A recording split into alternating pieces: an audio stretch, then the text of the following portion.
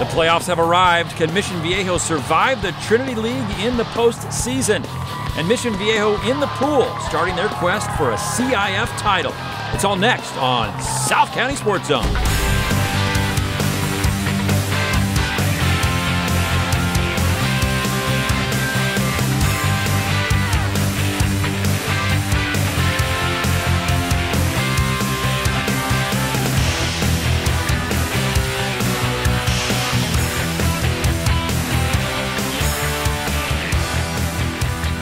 Hi, everyone. Welcome to South County Sports Zone. We are inside the MVTV studio in Mission Viejo. I'm Gordon Spencer. We are in playoff mode in high school football. Just eight teams, including four out of the Trinity League, qualified for the very difficult Division One bracket. Mission Viejo, one team not in that league that had the tough task of facing one of those teams, which starts with the quarterfinals. Mission Viejo, number one out of the South Coast League, against number three Servite out of the Trinity League. Diablo's number two in Orange County. Servite, number three. Mission Viejo has won 11 of 15 Trinity League games since 2015. That's not an easy task. First quarter, Mission Viejo on offense. Peter Castelli on the run. He makes it 26 yards, accelerating down to the nine yard line. A couple of plays later, Jaquez Robertson the four yard touchdown to begin the scoring. 7 0 Diablos. Servite answers on a big play. Noah Fifita to Tetairoa McMillan. 43 yards into the end zone. It's tied at 7. Now Mission Viejo with the ball on a fourth and 12. Jaquez Robertson up the middle, gets the first down. A few plays later, same drive, Castelli 25 yards down to the one yard line. Then Robertson gets the finish. And it's 14 to 7 Mission Viejo. Then that Mission Viejo defense showing up. Ryan Nichols taking down Fifita. That forces a Servite punt. Second quarter, three more for Mission Viejo, courtesy of the foot of J.R. Lopez. 32 yard field goal, 17 7. Diablos at the half. Mission Viejo drum corps showing off to the home crowd. Getting them pumped up. Third quarter, Mission Viejo with a turnover. Watch number 71, Noah Salawa, recovering for Servite. Servite takes advantage. Fifita to McMillan. Five yard touchdown. Extra point, no good. Servite trails 17 13. Servite with the ball and going for the lead. Fifita to Zedekiah Centers. He is off and running. Has a blocker, 53 yards down to the seven yard line. It's fourth and goal now. Servite going for it. But watch the interference call against Mission Viejo, so Servite's going to get another chance at scoring. But they can't. Lance Kennelly comes up with a big stop on Derek Fuentes. Fourth quarter, Mission Viejo's Peter Castelli 18 yards into the end zone. Touchdown Diablos, capping a 99 yard drive, 24 14 Diablos. Back and forth. Servite, Nick Manessis. Off and running, 38 yards, down to the 42 yard line in Mission Viejo territory. A couple of plays later, Derek Fuentes, five yards, touchdown Friars, 24 19 Mission Viejo. They go for two. Fifita to McMillan. They convert. Servite down 24 21, 7.51 left. Then big play after big play. Peter Castelli. Look at the throw. Jerome Cortez rolled 50 yards down to the two yard line. Then the finish by Jaquez Robertson for Mission Viejo. Two yard touchdown. 31 21 Mission Viejo with 4.20 left. Servite not done. Look at McMillan fighting for yards, getting to the outside, stumbling, shaking blockers, gets down to the 32 yard line. Then Fifita to Kyle Bandy, 32 yards and into the end zone on the tightrope. 31 28 Mission Viejo. Mission Viejo on special teams on the kickoff. James McDonald, he's done this during the season, and he's doing it again this time, McDonald. Speed. 85 yards later, can't quite get in down to the two yard line. So Easton Mascarenas will finish with the huge play late in the game. The touchdown, 38-28, Mission Viejo Servite not done. Six-yard touchdown to McMillan with 10 seconds left. But time runs out on Servite's season as they lose it 38-35. Well, here's the thing. In, in the first half, we came out running football well. And for whatever reason, I went away from it. So uh, pretty bad play calling there, second quarter by me. Um, got back to what we were good at second half, running the football. Thought we ran the ball really well, and that's kind of how we closed this game out, is, is on the ground, being physical. Um, you know, put the weight room on our back, if you will, and we ran the ball really well. Um, I, I, I, couldn't be more happy for our kids. Our offensive lines kept up and down all year, and they really came out in the second half when they had to and, and closed out drives. And then we had a really big special teams play. You know, we've been really good on special teams all year long, and that was like the biggest of all of them. That returned almost to that.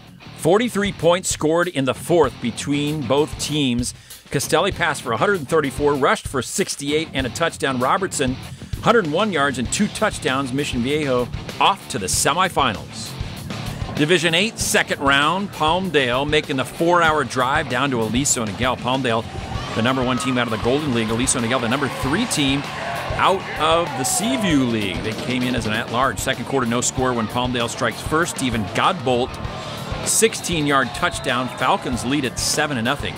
125 left in the half. Palmdale using that wing T, very confusing offense, and the ball gets loose and it's recovered by TJ Jones on the 23 yard line. Aliso able to convert that into this 47 yard field goal by Angelo Vescovi.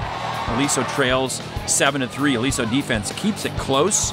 Jordan Keach, the sack. He had a couple in the game it was 7 to 3 at the half. What a view from Aliso Niguel Stadium. Third quarter, Aliso going for it on fourth and two. Kyle Kickelhunt with the five yard run. Nice move there for the first down. That leads to points. Angelo Vescovi, 22 yard field goal is good. Aliso down 7 6 in the fourth.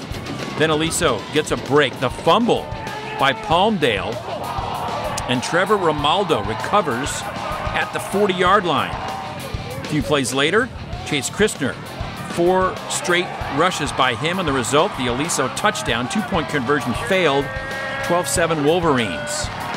Then on fourth and five with 4.25 left, Palmdale converts Marcus Hearn to Taiwan Cavens, 30 yards, their biggest play of the night. And with 3.11 left, Palmdale gets in with the easy touchdown. Marcus Hearn, 13 12 Palmdale. And Aliso's last possession would fail and their season ends in round two by a final score of 13 to 12. Aliso missing that two point conversion and an earlier field goal in the loss. And how about them Mustangs? A couple of tough seasons, and now on to the semifinals of Division 8 football after blowing out San Gorgonio in San Bernardino 34 to 7. They will host Sunny Hills on November 22nd, a team they lost to in overtime earlier in the season. And Mission Viejo will host the number one team in Orange County, Mater Dei, another Trinity League team on Friday, November 22nd in a Division One semifinal. Capo Valley, under first year head coach Sean Curtis, qualified for the Division Three playoffs and traveled to La Habra, where they were defeated in round one, 42 to 3. It's break time. When we come back, it's to the pool we go for playoff action in boys water polo.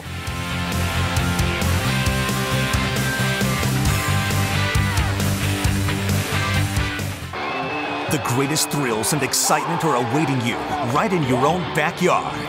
The CIF Southern Section and your SoCal Ford dealers encourage you to go to a game at your local high school. Unbelievable action is right in your community. You'll be amazed at what you've been missing. Supporting your local school has never been more fun. Go to a game this week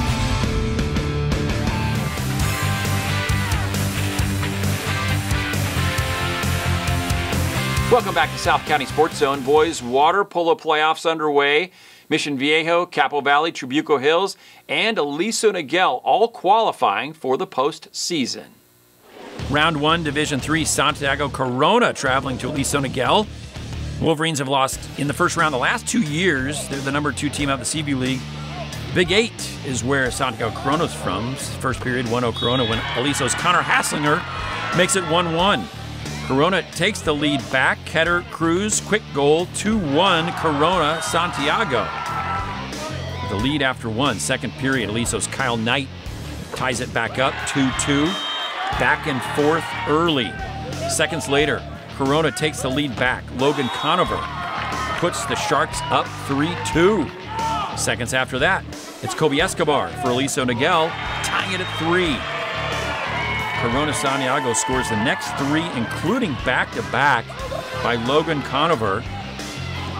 An easy one, and the Sharks go up 6 3. Great name for a water polo team. A minute left in the half, 6 4 Corona. Conover again.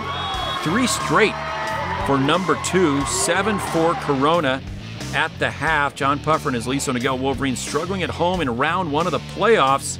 Sharks looking good on the road to the third period we go. It's Logan Conover again. He gives Corona Santiago a 9 4 lead in the third. Aliso shut out in the third thanks to great goaltending by Tristan Gerg. The stop, Aliso scoreless in that period. Fourth period, Ketter Cruz from way out gets it to go. 10 4 Corona. Tough night for Aliso. This is how it went. Hitting the cage, bouncing back. Aliso gets one more late goal their first in almost two periods, Zach Morkos, but not enough. Aliso Niguel eliminated in round one by a final score of 10 to 5. Conover with six goals. Santiago Corona then lost in round two to Los Osos. Division 5 boys water polo second round. Long Beach Poly, the number three team out of the Moore League. Mission Viejo, the number three team out of the Seaview League. The Diablos number one in Division 5. First period, Mission Viejo out to an early 2 0 lead. Caden Kendall makes it 3 0 Diablos. More Mission Viejo offense, Matt Rodriguez, Tennyson Smith. And Mission Viejo up 5 0 after one. Second period, Long Beach Poly gets on the board. Reese Hammond, Lance Gabriel, Jackrabbits down 5 1. Mission Viejo keeps pouring on the offense. Ryan Talone, Caden Kendall, 7 2. Mission Viejo. Then it's Caden Kendall again. The sophomore fires it in. Mission Viejo up 8 2. Long Beach Poly just three goals in the first half. Nick Cruz, Teddy Flores. Diablos up 8 3 at the break. Good crowd on hand. Watching third period. Long Beach Poly, Chase McPherson, Lance Gabriel. 9 4. Mission Viejo.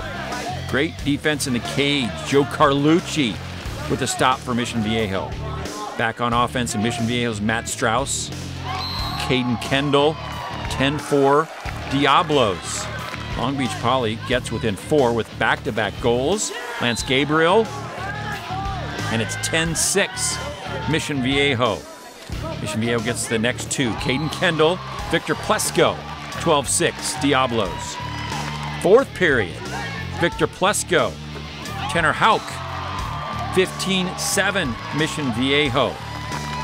And the final, the Diablos move on. I think just communication and uh, in practice, we just got to work hard.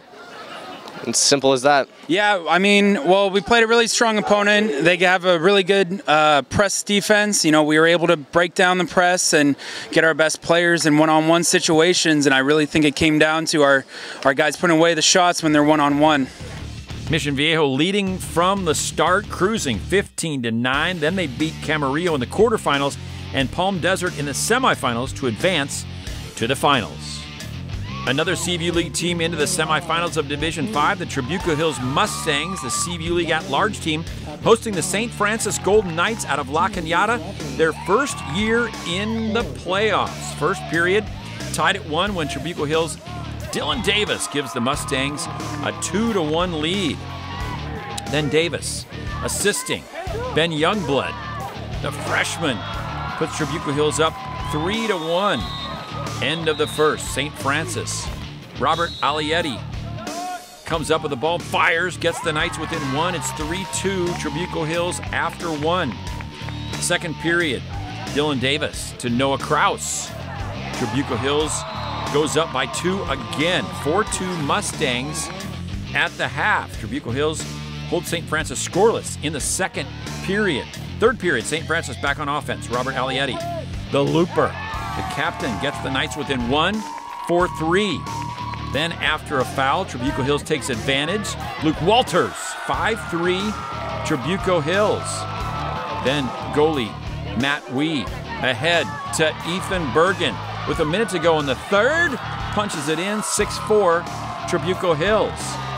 St. Francis sticking around with 15 seconds left. Jason Alietti, top corner, Knights down 6 5 in the third. To the fourth, Again, Trabuco Hills goes up by two. Ben Youngblood, Ethan Bergen, 7 5 Trabuco Hills. 7 6 now. Again, after a one goal game, but Trabuco Hills, Dylan Davis to Youngblood, 8 6 Trabuco Hills with three minutes left. With two and a half to go, Jaron Sin scores for St. Francis. Knights down 8 7. 2.15 left. Ben Youngblood to Luke Walters waits patiently 9 7 Trabuco Hills. Then Matt Wee coming up big in the cage, making the save with 120 left, and that was enough. The Trabuco Hills Mustangs win it. Feels great. Um, we've had a few disappointing seasons, and it's finally coming together this year. Uh, we've all worked super hard. That game showed a lot of character, a lot of grit. Uh, I'm proud of all of us as a team effort. Feels good. Oh man, I can't describe it. Just a, a credible experience uh, getting here. A lot of hard work, dedication, and energy. Uh, the boys brought it tonight. Coach, it's boys brought it, it's baby. super. It's super exciting to see these guys get uh, a great chance to play to play together one more time in the final here, and uh, we're really, really excited about the uh, experience to get to this. And uh, it's a brotherhood of, of group here of boys, and so just again, very, very exciting. Thank you very much. Appreciate it. 9 7, the final. A battle for Trabuco Hills. Matt Wee coming up huge in the cage. Six saves, a steal, and an assist. That sets up the finals match in Division 5 between Mission Viejo and Trabuco Hills, a city championship on the line.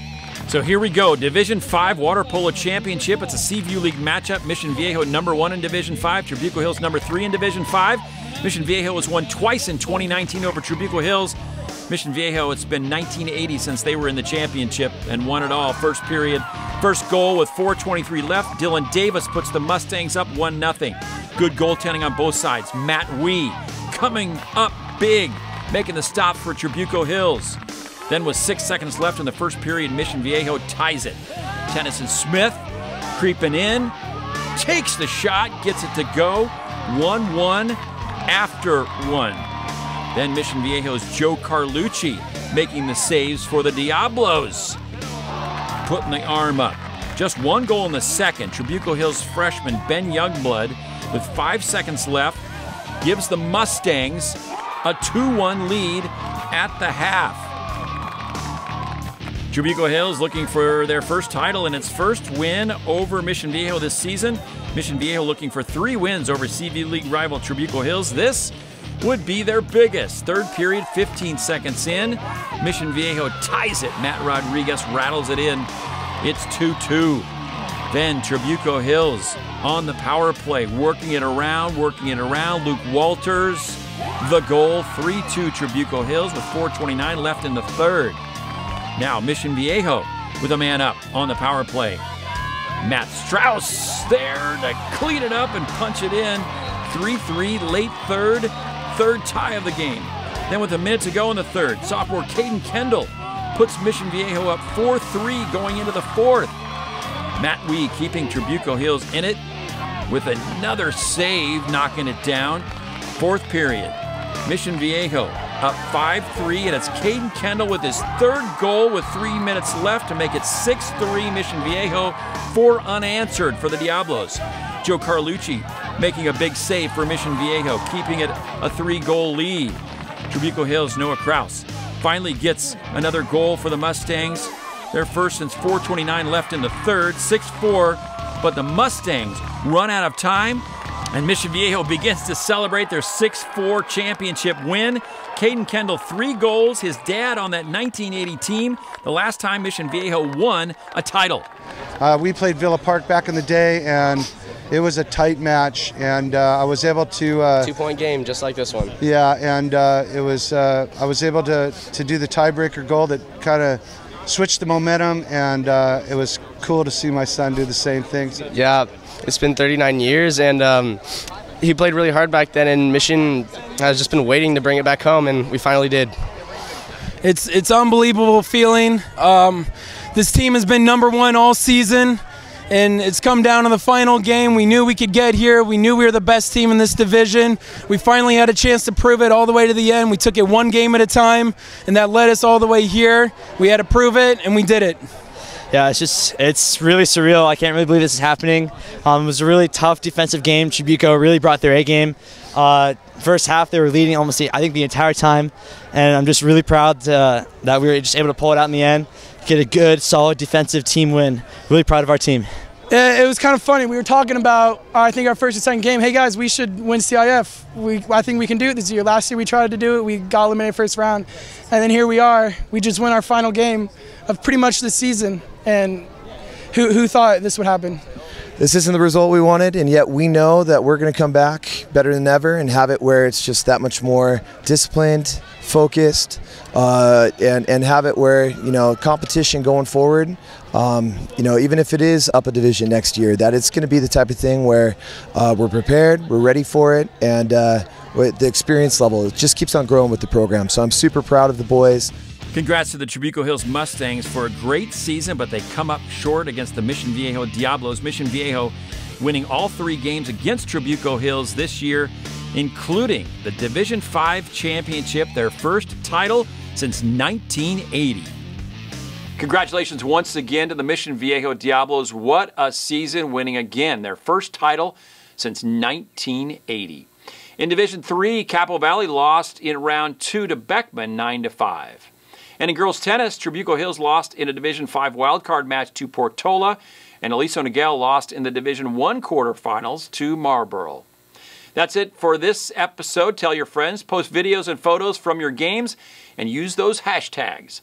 Log on to cityofmissionviejo.org forward slash MVTV or cityofalisoviejo.com for all of the episodes. Thanks for watching. I'm Gordon Spencer.